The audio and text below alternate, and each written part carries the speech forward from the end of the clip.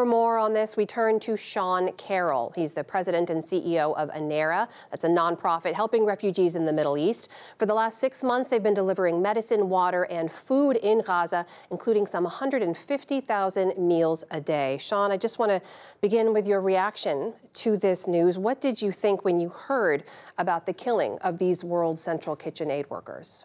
I thought, no, this this can't be. How can this be? Can't, this can't be. This this can't be explained. It, it can't be. And then devastation. Um, World Central Kitchen are is a partner. Their colleagues, their friends. The people who were killed are people that our team in Gaza work with. So this was devastating, devastating news. And we should say, too, you and your team know this loss. Last month, you lost one of your team members, Musa Shawa, your logistics coordinator in Gaza, was killed in an Israeli airstrike after sheltering with his family in Deir al-Balah after he'd been out distributing aid. We are so sorry for your loss, but I have to ask, do you believe it's possible for aid workers to work safely in Gaza right now?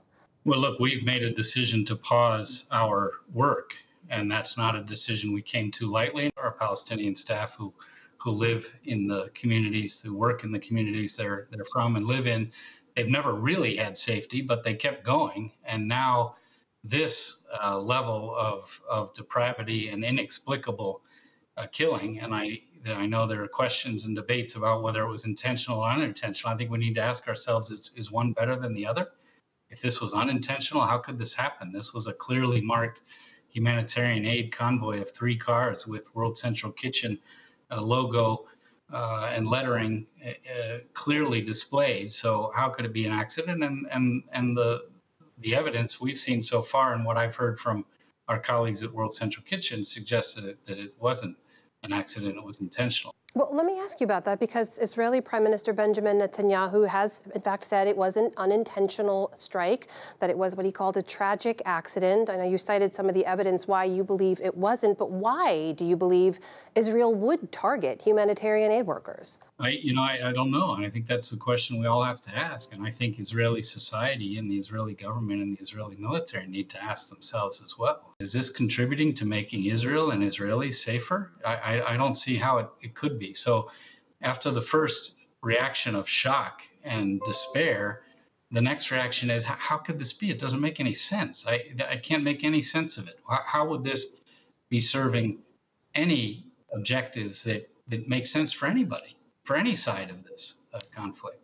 Netanyahu has also pledged a thorough investigation. U.S. officials have said today they hope it will be swift and that the findings will be made public.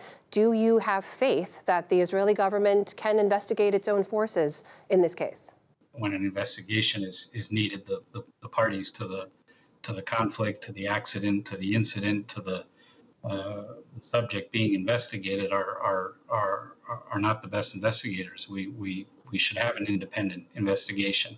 We would like to have it for our coworker Musa Shawa, who was killed uh, just under a month ago. We still don't have an explanation on on that killing. This is an absolute minimum requirement, uh, certainly for World Central Kitchen, and and but for all of us, uh, because we're wondering, are, are we next? Sean, have you had communications directly with Israeli officials about the safety of your team on the ground in Gaza? Sure, we communicate all the time. Uh, we we have to deconflict the, the areas we work, the shelters where our staff and their families are staying, uh, where our staff are sheltering, our distribution centers, our cars. Uh, that all has to be deconflicted. We share the coordinates, the map coordinates of those, uh, and and we and we check in. We check in with them to verify, or they check in with us. Um, but we had a, a check in from them four days before Musa Shawa was was killed in an airstrike, and and and that and and this World Central Kitchen uh, uh, killing now is uh, uh, makes us worried. Makes us feel like it's it's not working.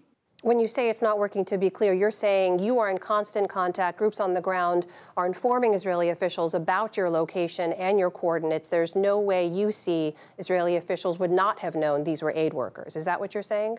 I mean, that certainly looks like the case with the World Central Kitchen. Uh, the very clearly marked uh, cars in a three car convoy. And this is something that's been an issue among many international NGOs uh, throughout the course of this war. And the deconfliction is actually done with the military, with the IDF. And so uh, the conversations and the communications feel like uh, they're genuine and we're all doing the right thing and, and we're deconflicting and we're getting things put into the system.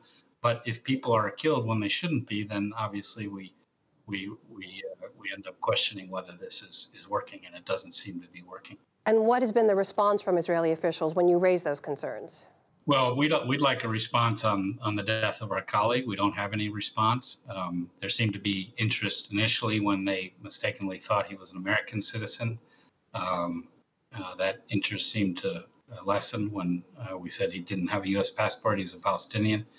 Um, we don't have a response yet. I hope we'll get a response, and I'm sure World Central Kitchen is is very much uh, going to be demanding uh, an explanation uh, for the death of their staff. That is Sean Carroll, President and CEO of ANERA, a nonprofit helping people in Gaza, suspending operations for now. Mr. Carroll, thank you for your time. Thank you for having me.